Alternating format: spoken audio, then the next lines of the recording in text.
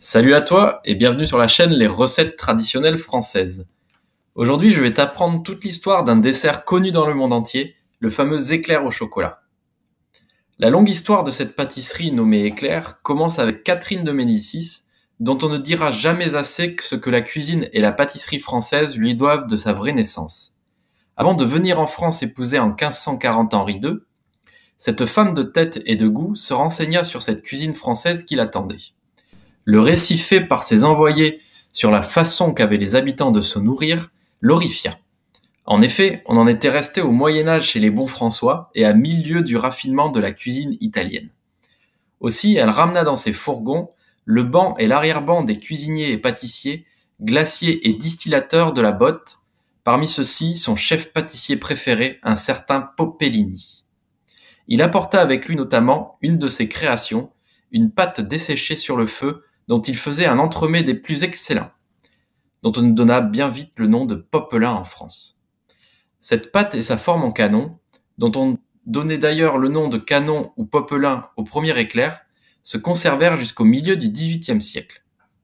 À cette période faste pour la pâtisserie, Tirolet, chef pâtissier de la maison d'Orléans, et plus tard de Philippe Égalité, un cousin de Louis XVI, imagina avec cette pâte à popelin, qu'il nomma pâte chaude, les pédenones, ancêtres de nos éclairs. Le nom fit bien sûr beaucoup rire, mais pas pour tout le monde, on s'en doute. En 1800, la Révolution était passée par là et la pâte chaude devint la pâte à choux, car le grand Avis, sous le Directoire, inventa le chou à la crème. Un autre génie, Antonin Carême, lui en fit la déclinaison suivante, les gâteaux duchesse et les pains au chocolat, tous les deux véritables précurseurs de l'éclair. À partir du XIXe siècle, la pâte à choux devint l'une des deux mamelles des pâtissiers, l'autre étant la pâte feuilletée. On appela jusqu'aux années 1850 l'ancêtre de l'éclair bâton royal, pain à la duchesse ou encore pain au chocolat aux formes cylindriques variées roulées à la main. Pour que l'éclair trouva enfin sa forme définitive, il fallut qu'un certain pâtissier Aubrio, célèbre au Palais Royal, invente la poche en 1847 et que le fabricant de matériel Trottier pour la pâtisserie invente lui la douille en 1850. Entre-temps, le glaçage au fondant avait été inventé, appelé glace à l'époque. Avant cela, on nappait à l'abricot.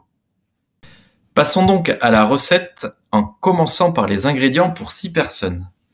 Tout d'abord, pour la pâte à choux, il te faudra 250 ml d'eau, 125 g de beurre, 150 g de farine, 5 œufs de grosse taille, une demi-cuillère à café de sel.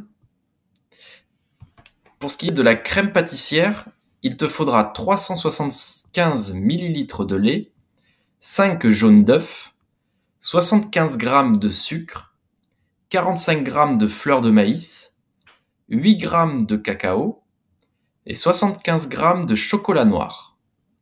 Pour le glaçage, il te faut 100 g de chocolat noir, 300 ml de crème fraîche liquide, 60 g de sucre glace. Maintenant que tu as tous les ingrédients, voyons maintenant les étapes de préparation de la pâte à choux. Il faut que tu coupes le beurre en petits morceaux et mets-le dans une casserole avec l'eau et le sel porte à ébullition et sors la casserole du feu. Ajoute la farine en une seule fois et mélange bien pour qu'elle absorbe le liquide. Remets la casserole sur le feu doux et remue bien sans laisser le fond accroché. Après quelques minutes, lorsque la pâte se détache facilement et forme une masse, sors la casserole du feu. Incorpore bien les œufs l'un après l'autre. Laisse tiédir la pâte, puis sépare-la en deux. Étale sur une surface plane et réalise deux boudins de 15 à 20 cm de long. Dépose les boudins de pâte sur la plaque de cuisson légèrement beurrée. Préchauffe le four à 180 degrés. Enfourne durant 30 à 35 minutes. Sors les boudins sur un plateau et laisse le tout refroidir. Pour ce qui est de la préparation de la crème pâtissière, il faut que tu mettes le lait à bouillir dans une casserole. Brise le chocolat noir dans une casserole, puis verse le lait. À feu moyen, remue avec une cuillère en bois jusqu'à ce que le chocolat fonde. Mélange la fleur de maïs, le cacao, le sucre et les jaunes d'œufs dans un bol. Incorpore peu à peu la préparation lait-chocolat en remuant constamment. Une fois le mélange bien homogène, reverse dans une casserole et fais chauffer tout en continuant de remuer jusqu'à ce que la crème épaississe. Sors du feu et mets dans une poche à douille. Et laisse le tout refroidir. Pour ce qui est du montage, coupe les boudins en deux dans le sens de la longueur. Garnis l'intérieur de crème. Décore le dessus avec le restant de crème ou avec un glaçage au chocolat dont je te propose la préparation de suite. Il faut faire fondre le chocolat noir, ajoute la crème fraîche liquide, ajoute le sucre glace, mélange bien le tout et étale-le sur le dessus de ces éclairs.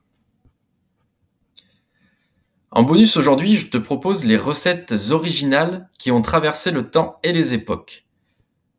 Commençons par la pâte à choux d'Urbain Dubois de 1876.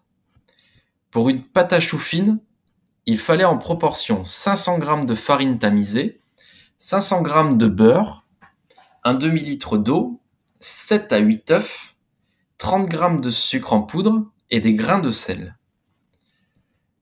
Il disait qu'il fallait verser l'eau dans une casserole, ajouter le sucre, le sel, 400 g de beurre, faire bouillir. Quand le beurre monte, retirer du feu, incorporer la farine au liquide d'un trait à l'aide d'une cuillère. Lier la pâte sur un feu doux afin de l'obtenir lisse et légère. Desséchez-la quelques minutes, c'est-à-dire travaillez-la sur un feu jusqu'à ce que le beurre suinte. Retirez-la alors du feu pour lui faire prendre sa plus grande chaleur, mais toujours en la travaillant à la cuillère. Mêlez aussitôt les œufs un par un. En dernier lieu, ajoutez le restant du beurre peu à peu. Quand la pâte est terminée, elle doit être bien lisse, avoir la consistance d'une farce à quenelle, tomber dans la cuillère avec une certaine résistance, afin qu'en la couchant sur une plaque, elle ne s'étale pas. On doit cuire la pâte aussitôt terminée. D'autres pâtissiers euh, de l'époque préconisaient de la laisser reposer une ou deux heures au frais et couverte avant de la travailler. À vous de voir donc.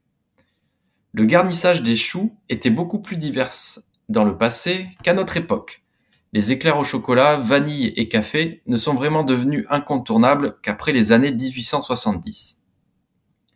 Avant cela, la préférence allait plutôt à l'éclair Magali, à la gelée de groseille, à la purée de fraises, marmelade d'abricot ou de poire, ou simplement au sucre cassé et pistache, ou au raisin de Corinthe.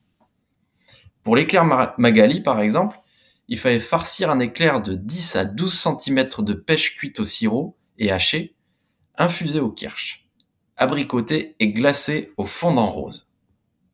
Pour l'éclair maltais, il fallait farcir un éclair avec une crème au beurre additionnée de mandarine hachée et cuite au sirop, glacée au fondant de mandarine. Pour le pain de la duchesse au café de 1846, vous deviez coucher sur une plaque avec une poche de pain long de 8 cm et large de 2 cm. Doré faites cuire au four papier jaune 160 degrés, laissez refroidir, glacez avec de la glace à café froid, garnissez le pain avec de la crème chantilly au café. Faites un trou dans un des bouts de pain avec un bâton pointu de 1 cm de grosseur. Mettez la crème avec un cornet. Même façon de procéder avec le chocolat ou la vanille. Pour le pain à la duchesse aux fraises de 1866, Faites des pains à la duchesse, glacez-les avec de la glace aux fraises, garnissez de chantilly et de purée de fraises sucrées. Petites observations, les petits pains variés que l'on appelle dorénavant éclairs se font avec de la pâte croquante et ne se garnissent qu'au dernier moment. Je conseillerais de remplacer, dans les grandes chaleurs, la chantilly par de la crème mi-cuite dite Saint-Honoré d'après Urbain Dubois. Pour des pains à la duchesse au gros sucre et au pistache, Préparez les pains comme précédemment, glacez-les au sucre cassé, garnissez les pains avec un mélange de sucre cassé et de pistache haché, disposez sur un plafond, une sorte de plaque, et roulez-les dans le restant de pistache au sucre. Passez-les au four à papier brun, 180 degrés, quelques minutes pour les glacer, et retirez, mettez à refroidir avant de servir. Voilà, c'est tout pour aujourd'hui. J'espère que cette vidéo t'a plu. N'hésite pas à t'abonner ou mettre un petit like juste en bas de ton écran si tu veux m'encourager. Il ne me reste plus qu'à te souhaiter un très bon appétit. À bientôt sur les chaînes Les recettes traditionnelles françaises.